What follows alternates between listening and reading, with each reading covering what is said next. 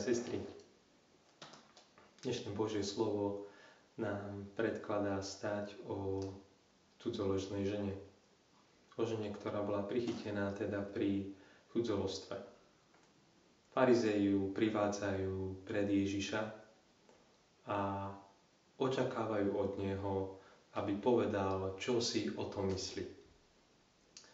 Je zaujímavé, že prichádzajú práve pred neho. A je to dobrý znak lebo tak nejako v sebe a zdá cítia alebo vedia, že Ježiš by si možno mohol mysleť niečo iné, ako si myslia oni, keď obidvaja poznajú zákon.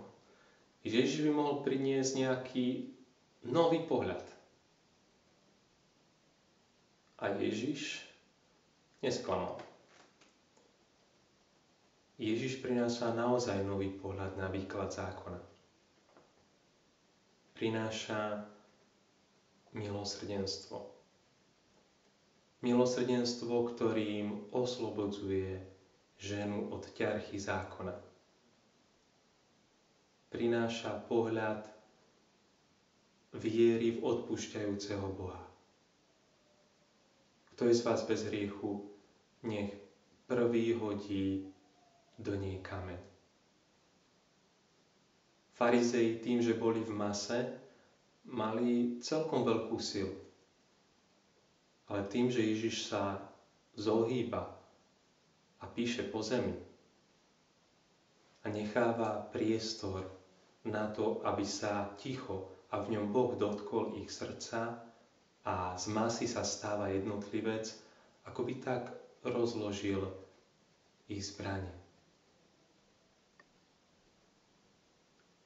Tým, že seba kriticky pristúpia k tomu, čo Ježiš povie. Kto je z vás bez riechu, nech prvý hodí do, nich, do nej kameň. Zbadajú, že tie kamene musia pustiť z ruky. Boh Ježišovi Kristovi naozaj zjavuje svoju plnú tvár. A to je stále otvorenie pred každým našim hriechom. Že Boh čaká, kedy mu ty svoj hriech odovzdáš. On čaká stále na teba. Nezabúdaj na to. On túži prijať tvoje hriechy. Nikdy sa nevzdávaj.